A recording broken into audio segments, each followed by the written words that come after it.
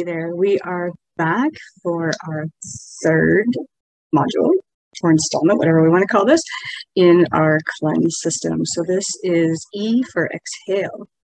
This is a fun one. They're all fun, actually.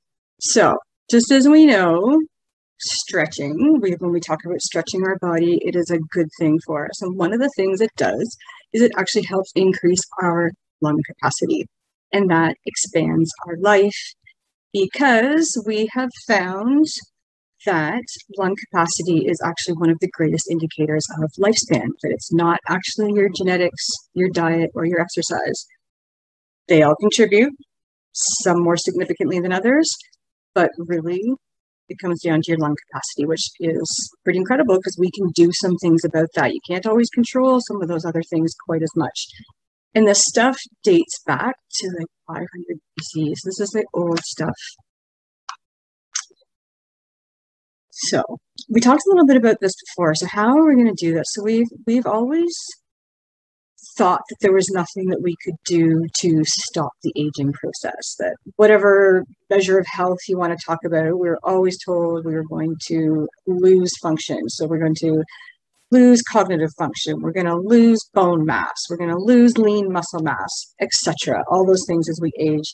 And it's actually not normal that to happen.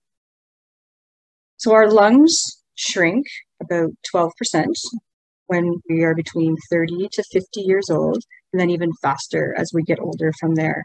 So because of that, we're forced to breathe faster and harder, which increases our blood pressure, increases disorders with our heme, which is a component of our blood, and it can cause issues with anxiety as well. And this doesn't need to be this one way path to decline that everybody seems to think that we should be on. Anybody that's here knows this probably is not true, but really our organs, our cells, they're malleable all the time. We're, this is you know this is new to most people that we can actually change things. We're not you know, born with a set of whatever, and that's what we're have for the rest of our life. And let's talk about free divers because these guys are a great example.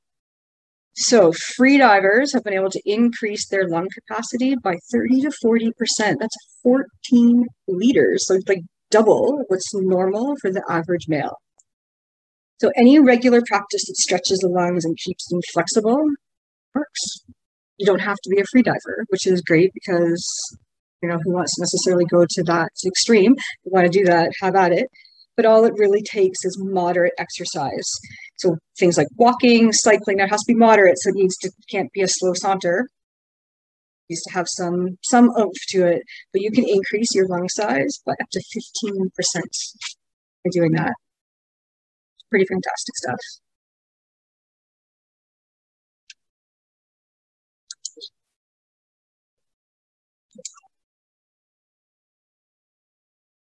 So the best way to increase our lung capacity, so the stretching is great, kind of help that overall health and longevity.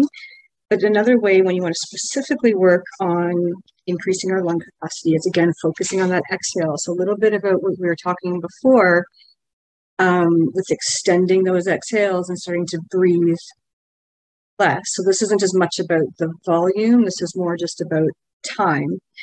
And this is what it's this is what where this one is a little bit different. So we're going to start talking about what we call the thoracic pump and the diaphragm in here. So this is more about diaphragmatic breathing. You may have heard about this. So the thoracic pump is a system within our body. So our normal blood will do a full circulation of your arteries and veins once every minute. It's pretty fast. So that's 2,000 gallons or 7,570 liters of blood moving around through those arteries and veins every day. Now, the speed and the strength of your circulation is determined by this thoracic pump. And this is what the pressure that builds inside your chest when we breathe. So, this is how it works. So, when you inhale, your lungs expand, you create negative pressure within your chest cavity, and then that allows blood to flow into your heart. When you exhale, your blood shoots out of your body and your lungs, and then it recirculates through wherever it's supposed to go. And it's your diaphragm that powers this pump.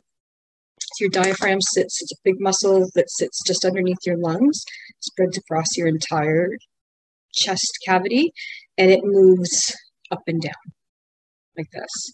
And like I said, that's what powers this pump. So when it lifts as you breathe out, your lungs are shrinking. And then as you take a breath in, so those lungs back up, you draw that diaphragm back in. So it's, it's kind of works like a bell. So when it's up like this, when your lungs are exhaling, getting smaller, then it pulls down and flattens when you take a breath in. That up and down motion can happen about 50,000 times a day. And then most of us engage a very, very small percentage of our diaphragm. So over time, that really puts a lot of stress on your heart, elevates your blood pressure, and can cause all kinds of other circulatory issues. So when you start extending those breaths, extending those exhales, you can um, increase the capacity of your diaphragm to work. So you start using more of your diaphragm because you give it more time to do what it needs to do. You know, it allows it to come up higher. If that makes sense. Okay. And then what that's going to do is just re- reduce the load on your heart, which just allows your body to work more efficiently.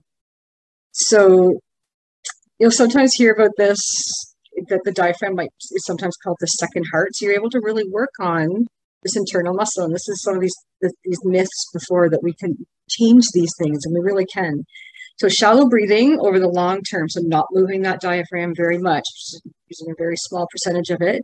What you'll start to see is um, shoulders start to raise because that starts to try to lift as well, and the neck can sometimes extend. You get this weird posture, and um, that's it on this one. There's really not that much to it. So it's again about practicing to exhale. And then what you can do, now you're not going to be able to see this, but you want to think about moving your diaphragm, your chest cavity in all directions. It's not just about the up and down, or when, especially if you're laying down, you know, the up and down of your belly. You want to move it in all directions. So think about even expanding your rib cage is how I think about it. So you can even put your hands on the bottom of your rib cage. You want to push them out side to side as well as front to back. Use up your space. Take up some room in the world. Don't be small. Take up your big breathing space. And that is exhale. Pretty short one. Not too uncomfortable on this one, especially as you get used to having those longer exhales. We're almost there. We've got two left to do. We're going on to nose. This is a fun one too. I'm going to say that I think on all of them, but nose has got some fun things going on inside there. So I will see you over there.